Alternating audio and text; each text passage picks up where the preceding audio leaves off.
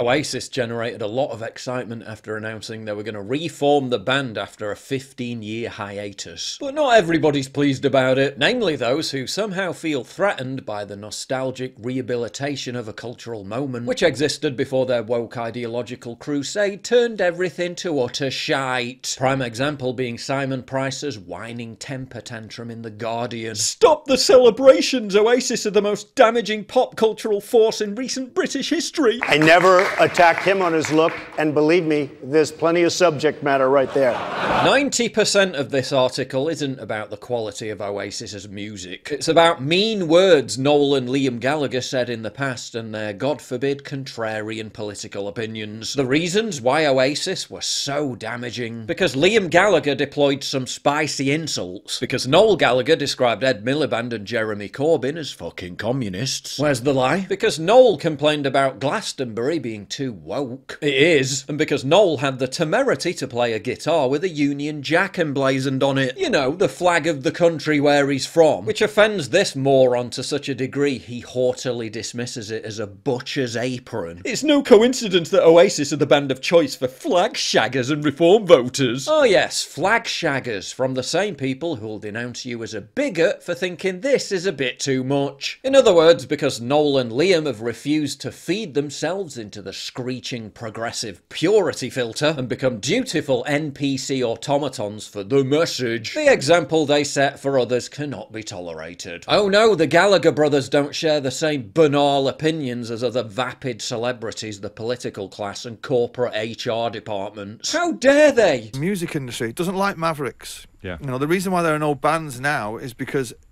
in the 90s, Oasis and Primal Scream and Blur and Pulp and all those, we were the mainstream. And what the music industry doesn't like the mainstream being a load of fellas on drugs, drunk half the time on a Tuesday. Like, they don't like that. They like people like Harry Styles Yeah. who they say, wear this dress and shut it. wear this, sing that, and go home. Price then bemoans the fact that Pulp, another working class 90s band from the north, aren't more popular than Oasis. Presumably, this is based on the fact that Jarvis Cocker has all the correct ensemble of politically correct opinions and isn't problematic. Because it's definitely not based on them being a more successful or better band, which they clearly weren't. The Gallagher's knuckle dragging ideas on sexuality and politics arguably shouldn't matter. We're all familiar with the concept of separating the art from the artist. Dude just wrote an entire article in which he failed to separate the art from the artist. Something extremely popular, almost universally liked, exists. The Guardian, why said thing is in fact incredibly problematic and you should hate it. My children now will have less freedom because of this ridiculous woke culture. It's a question I've heard so many times before. Paul, you're nearly pushing middle age. Alright, rude. How come you look 10 years younger than you are? Only 10? Well, it's not rocket science. It's called regularly moisturising your face and having a good skincare routine. That's why I'm excited to have Tiege Hanley as the sponsor of today's video. They help men start and maintain a skincare routine by simplifying the entire process. I recommend you start with their level 1 system, which comes with all the basics. A daily face wash to get rid of all the dirt and grime on your skin. A two times a week exfoliating scrub to get rid of all the dead skin cells. An AM moisturizer with SPF 20, because you should always be protecting your skin from the sun. And a PM moisturizer to help your skin stay hydrated and healthy throughout the night. Their products have made my skin look and feel healthier than ever. You don't have to just take my word for it. They've got over 7,000 five star reviews on their website from satisfied customers around the world. And because Tiege is sponsoring this video, they're offering you an amazing deal. Just click the link in the description to get 30% off your first skincare system and a free gift. Plus, as a member, you'll also get 20% off for life. By the way, both gifts you're choosing from are $20 value and a complete game changers. A silicone body scrubber or a nail and face grooming kit. They've pouched it up all nice as well. Personally, I prefer the silicone body scrubber because it just feels so soft and silky on the skin. Ooh,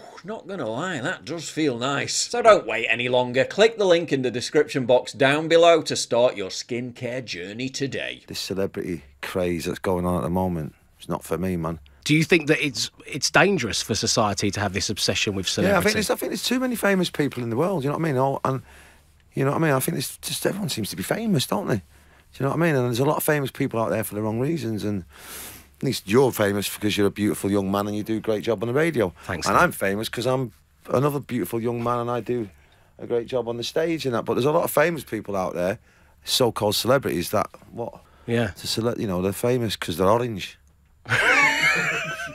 You know what I mean? And got massive white teeth and stuff like that. So, so yeah, I get the right up when people call me a celebrity. Shitlibs despise Oasis for four primary reasons. One, much of Oasis's fan base consists of white working class men, for whom the pontificating metropolitan liberal elite has a seething visceral hatred, exemplified by our Prime Minister, who, after threatening to mass arrest them for complaining about immigration, is now inflicting another punishment by planning to ban smoking in pub gardens. Two, Noel and Liam are that rare breed of celebrity that's become too big to cancel, meaning they can get away with God forbid, saying controversial things that are true without having their careers and legacy destroyed by the baying mob. And there's like bombers roaming free around the fucking city.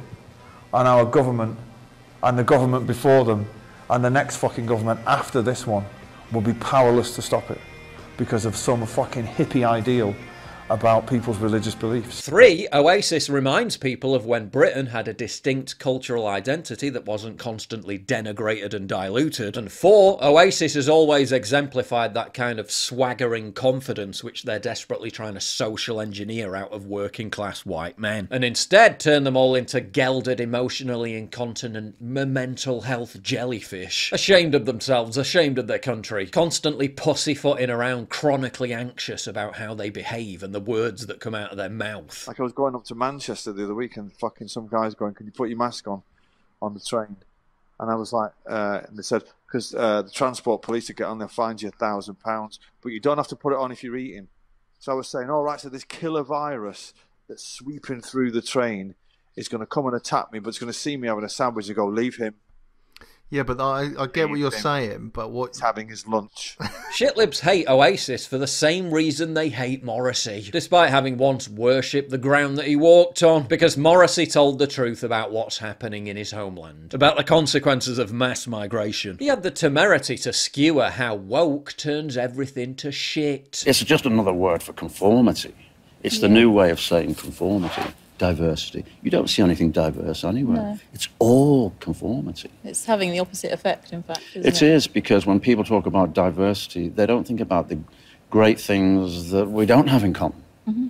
And those things are ignored. And they always made countries very interesting because you could travel to Germany, you could see the most incredible culture. You go to Italy, you see the most incredible culture.